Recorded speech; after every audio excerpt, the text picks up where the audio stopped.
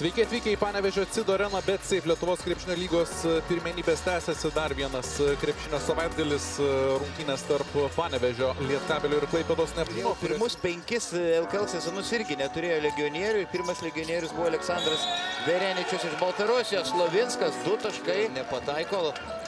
Labai prastai žaidimo atakuoja šeimininkai. Slovinsko puikus, paslėptas perdamas Gigai ir Lipkevičius. Labai staigiai išmestas kamolys, kuris pasiekė tikslą. Yra pagrindinė figūra Lietkabelio komandoje ir čia klysta pažėrė. Maldūnas vagė kamolį. Normantas ilgai prašė kamulio.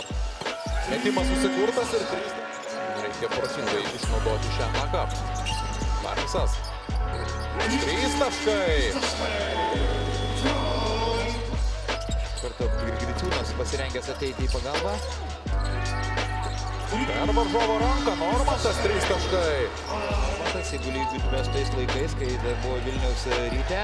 Vėl klysta Neptūnas ir Vinalėsas ir po krepšio. Sustoja svečių komanda. Neipatingas startas jam šiandien. Taip. Pramesti keli metimai, taip pat aibė klaidų, Vinalėsas iš toli. Ilga pozicinė Neptūno ataka, Giga imitavo užtvarą, pažiūrė, nestatė ir nebloga ataka, geras Gygos perdavimas Slavinskui. Lietuvos vidurio polės nėra labai judrus. Saulio perdavimas. Gerai pamatė Metrikį, kuris po krepšių. Jogėla.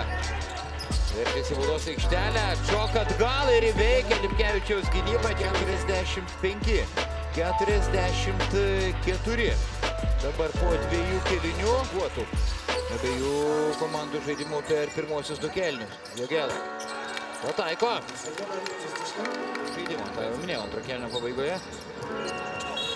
Tai drąsiai pažėra iki galo ir Gytis Vilius pamastė. Siūlo savo pagalbą. Taip, Lietai, kaip sulėtintam filme, bet už... Maldūnui perdamės ir toliau siautėja Gabrielius Maldūnas. Jau. Neperskubė, ne, nenoriu teisti. Vinalės Iš viršaus Benas Griciūnas.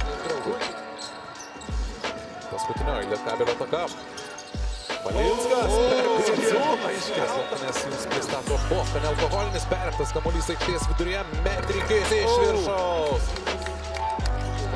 Taip, tai tai daro komandų žaidėjai. Lipkevičius paskutinė sekundė 3 taškai. Kamuolys rodė tinklelį. Jis pristabdė Slavinskas. Mažeika kokia? 3 taškai. Tai ką reiškia patirties, o nevyksta Neptūno pozicinėme podime. Lipkevičius. Metras linijos 3 taškai. Atrodė kokia start. Perdavimas į kraštą. Lipkevičius 3 taškai. Koks svarbus tritaškis ten finalės. Spalio 10 mačą galėsite stebėti per PTV. Valinskas. 2 taškai. Šešėlėje tunoja beveik viskas, galima sveikinti su pergalė Lietkabelį. Dar kartą galutinis rezultatas 87-82.